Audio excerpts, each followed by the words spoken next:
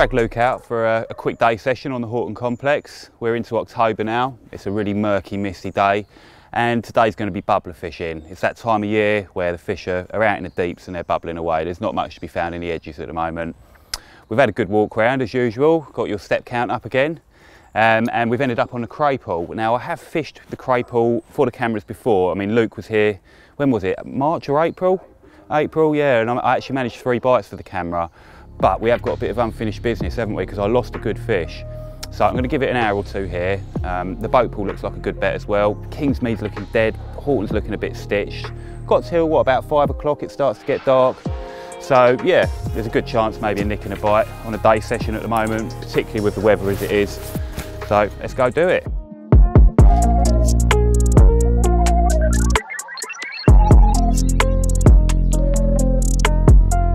About 45 minutes ago we were here and they're still fizzing, so that's good. Keeping the bait in the spoon minimal.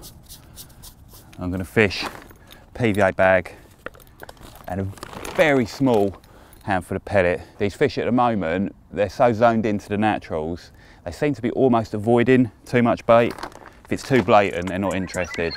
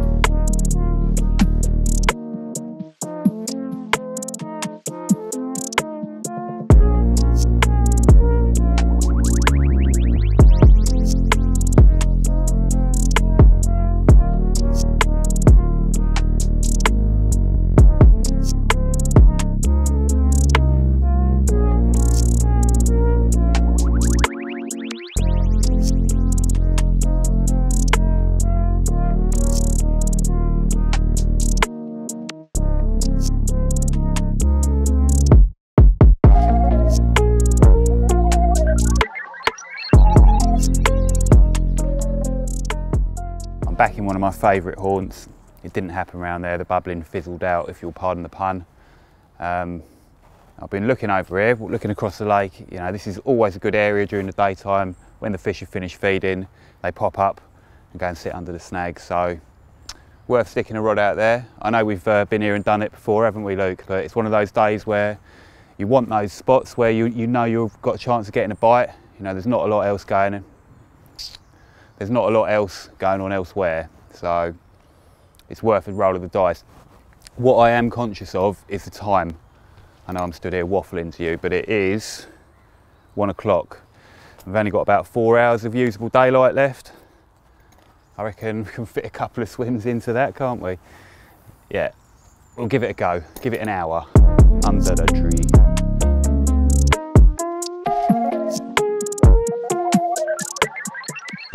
Feet are itching like crazy. The old banker spot hasn't uh, proved to be productive today. There's, there's nothing under here, no liners, no sign of fish, and in fact the whole lake seems dead. The bubbling stopped soon after we got into the swim. You know, they carried on. I don't think I spooked them actually um, dropping the rigs, but yeah, they're, uh, they're proving to be really tricky to catch on the soft stuff at the moment. Anyway, um, got what, two or three hours left. Definitely time for a bite if we can find them. So time to get on my toes again. Maybe Kingsmead, quick look off the bridge. I know I'm sort of going over old ground, but these are these are like solid spots to get a bite on a hard day.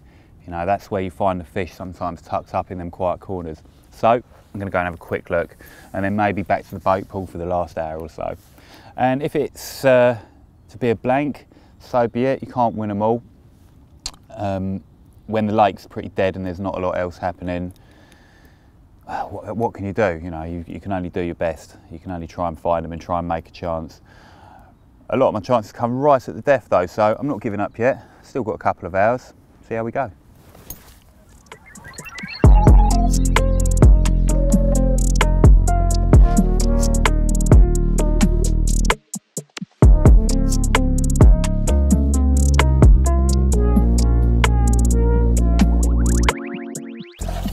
Back on the boat pool again, back setting up the pole again. Uh, there's a few fizzing out here, aren't there? Uh, one just showed as well as we walked past, so yeah, it's as good a bet as any for the last couple of hours. some good bubblers going on out there. And I might have thought they were bream, but we definitely saw a carp show where they're fizzing. So let's get the rods out.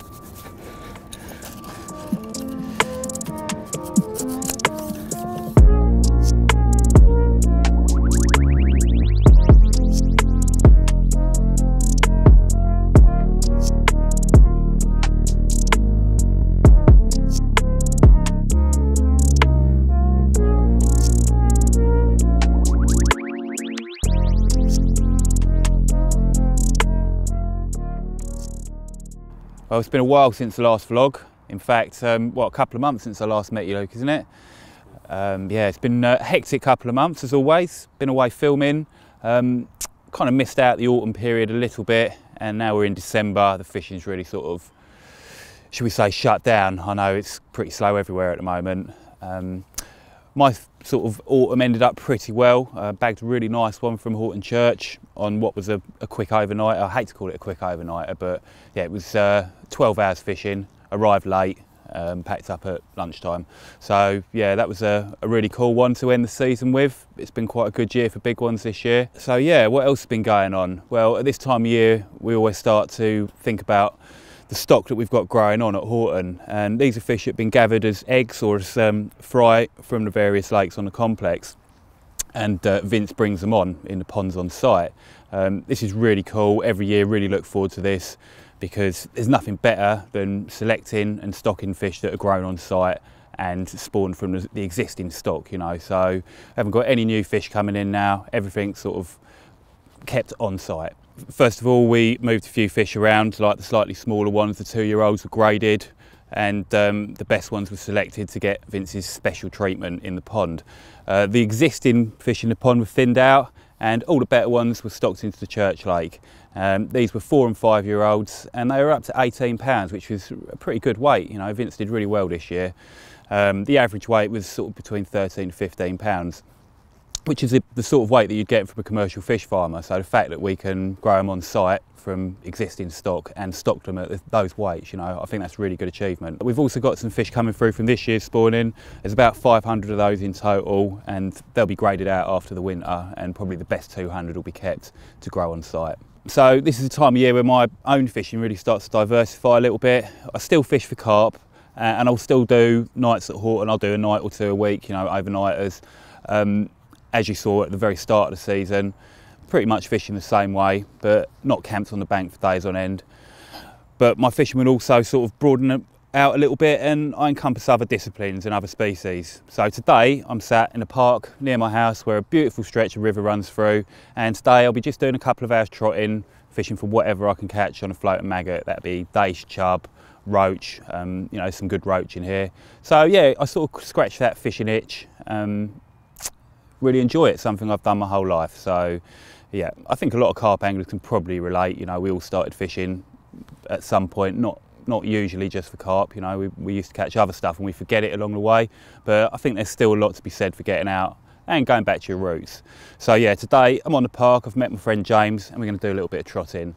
As far as my carp fishing this year, um, the Woolpack was my main focus and I made a couple of films for the Nash TV channel on that and the second one will be out at the beginning of January, uh, New Year's Day I believe, so um, do check that one out if you want to find out what I got up to over there. But it's a fantastic venue, fantastic stock, had an amazing year on there.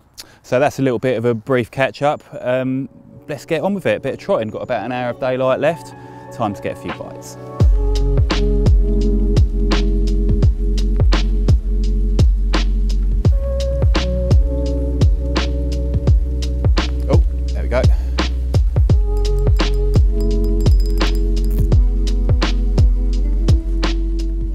Having the chubs about four pound out of this swim last year. Like they were, all, was, the water was a touch higher, and they were all sat underneath them sticks on the far bank.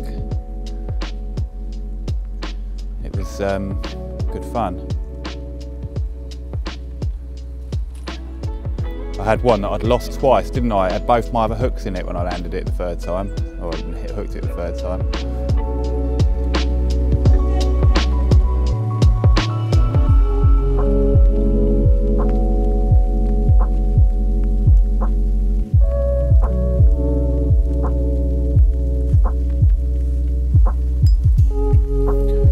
Chuck now.